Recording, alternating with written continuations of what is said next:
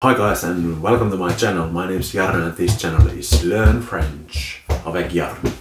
And today I wanna I wanna teach you how to use these uh, l'imparfait and le passé composé. I won't teach you conjugations of verbs or how to conjugate uh, l'imparfait or le passé composé. No, but how to use these two. And and and um, let's let's think about it. This is like a like a some kind of you know boom line there.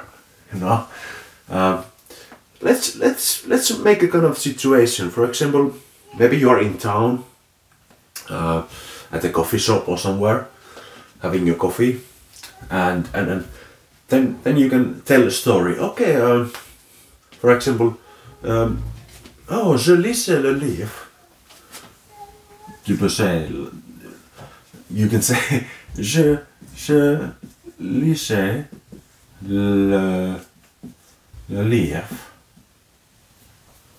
Okay, so you were you were reading. I was I was reading a book. Okay, I was reading a book. Okay, or the book. Um, and then then like boom, something happened. Like, shoo. Uh, so you saw something. You saw something. Okay. Uh, je. Sorry. J'ai. J'ai vu. J'ai vu. Ta mère. So, so you were doing something, okay? Je lisais le livre, and then, oh, J'ai vu ta mère. So I was reading a book, and bam, I saw your mother.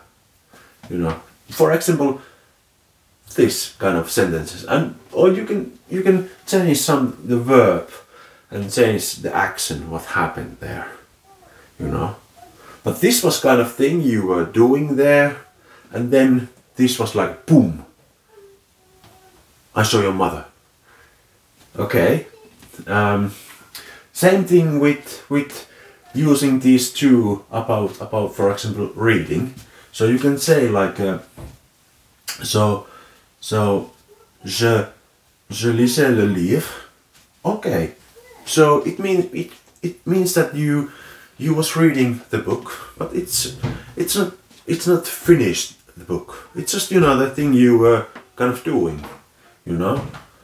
Uh, uh, but, but but what comes to what comes to le, le passé composé? If you say j'ai j'ai lu le livre, so it means that you actually you read you read the book. So so it's you need a new new book. You need a new book to to read now. So because you finished the book. So here you kind of, you know, you it's it's not finished. You just say, oh, uh, yeah, je lisais le livre. Okay? But je lu le livre. So it's over. Yes, okay. what comes to le passé composé, there is there is avoir verb, you use avoir, avoir and être verb. So these two you can form the, you know the uh, le passé composé. But but but it's a different different video.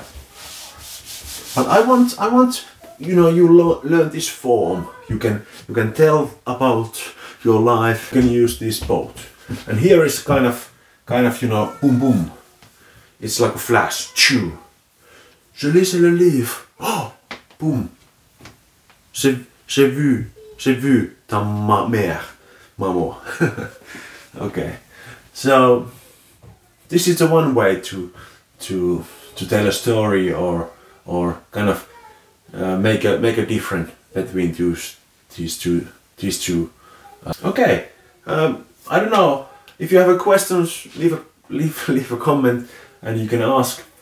Uh, but but this is a this is a one way to start to start learning. And of course, you need to know the conjugations and you need to know when to use être or avoir verb when you form the le passé composé, for example. Yeah. Okie dokie. yep. Thanks for watching and um, uh, alle. Bientôt.